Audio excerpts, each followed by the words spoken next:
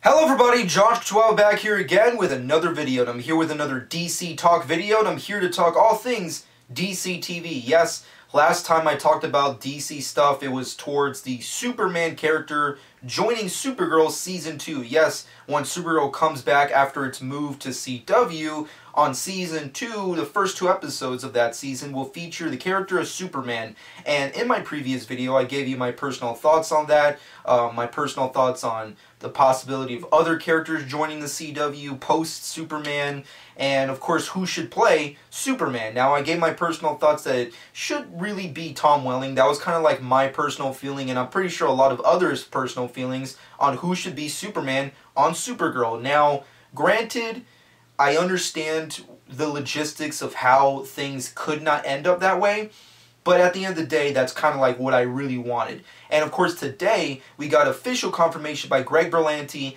and Andrew Kreisberg over at DC Comics as to who will be donning the new red and blue tights. And that's, of course, going to be Teen Wolf actor Tyler Hoechman, if I'm saying his name correctly. And of course, he's going to be the Superman for Supergirl for the first two episodes. And I'm pretty sure if, you know, the embargo doesn't, you know, lift anytime soon and people love him and, you know, the creators and writers can find a way to use him more, I'm pretty sure we'll see him more than likely in future episodes of Supergirl and maybe some CW crossovers.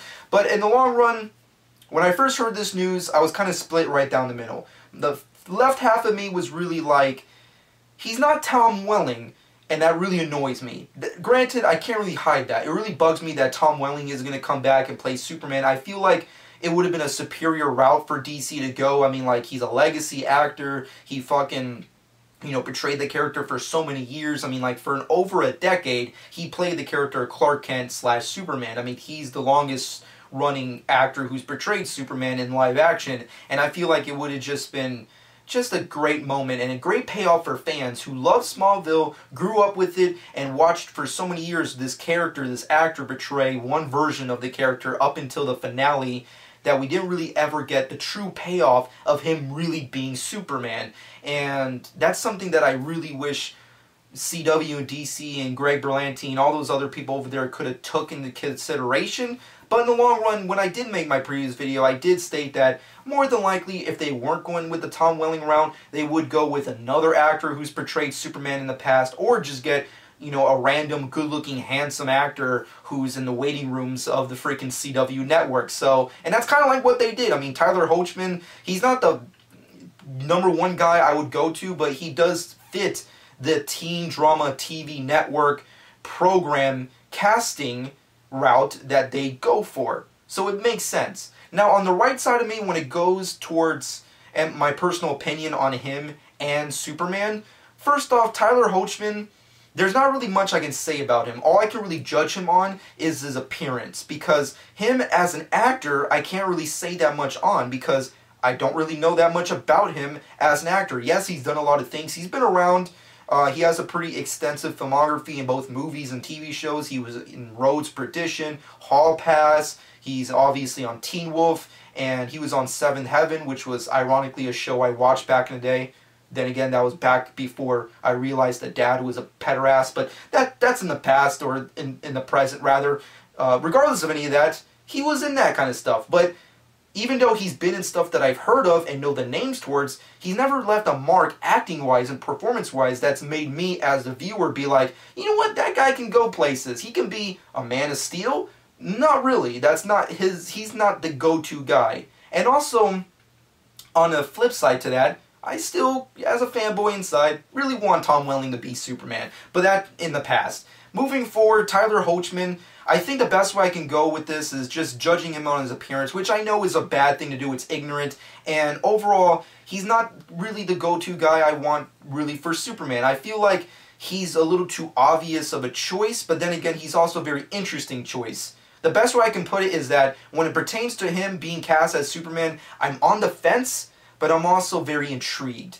And the reason I say that is his appearance. He doesn't have the obvious physical features of what you think Superman in live action would be, like we've had in the movies, and he has very distinct uh, European ethnic features that really go into play with like uh, other interpretations of Superman, like Justice League Mortal. If you go back and check out what George Miller was planning to do with Justice League Mortal. He cast DJ Cotrona as Superman, and that was a very interesting choice because he's not like a Henry Cavill, Christopher Reeve lookalike. He's not. He doesn't have those kind of features. He has more of a European-esque kind of ethnic features, which I think is a very interesting approach that CW and DC is going out in this turnaround for Superman. And it's not a terrible choice, it's just a very interesting choice. And also, if there's anything else I can really nitpick towards Tyler Hoechman being cast as Superman, is really his age.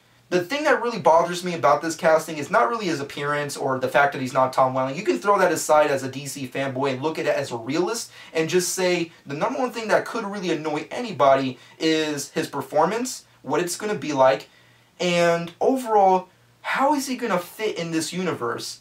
And the big thing that I take away from this is his age. Now, if you go and check out season one of Supergirl, which, you know, is, is definitely a duty if you really are not in terms with that kind of show like myself, he is an established Superman. Spoilers, when Kara goes to Earth, he's already established as Superman. He's like in his early 20s, he's grown up, and in the span of the years of her becoming Supergirl in season one, he's already been Superman for a long stretch of time. So when I thought of an actor being chosen, I would have liked a Tom Welling because he fits the right age group. He should be like in his early to mid 30s, if you will, but still has a very good physical nature and very handsome and still has very young features. However, Tyler is ironically enough the same age as Melissa Benoist from Supergirl. Melissa Benoist, if I'm not mistaken, she's about age 27 in real life.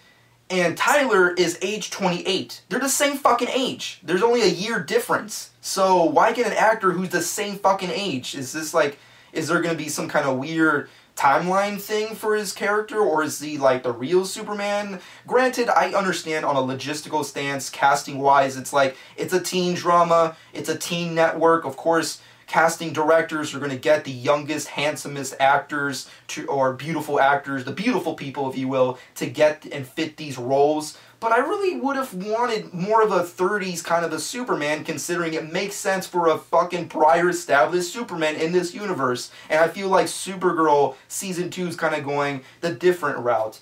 Granted, once again, Greg Berlanti and Andrew Kreisberg, or anybody over at CW, haven't really clarified Superman's role in Supergirl as of now with this casting. All we know is that it's Tyler Hoechman playing Superman, and he will be featured in the first two episodes of Supergirl season two. That's pretty much all we know. So, is he gonna fight? Is it a prequel? Is it like a flashback? Is this real time Superman? Is he going to be in the suit? Is he just going to be Clark Kent? You know, like, what's the extent of what Superman's going to be? That's kind of like the best thing I can state at this point. But overall, He's not Tom Welling, which really annoys me, but he see he kind of looks the part, and I'm pretty sure he can possibly act the part if he's been around this long. So I'm definitely up for it. And all I can really say is that, uh, like I stated previously, I'm on the fence, but I'm definitely intrigued. I just. I just really hope CW doesn't fuck us over on this front. That's all I can really say. And Tyler Hoechman, I hope he does a great job as Superman.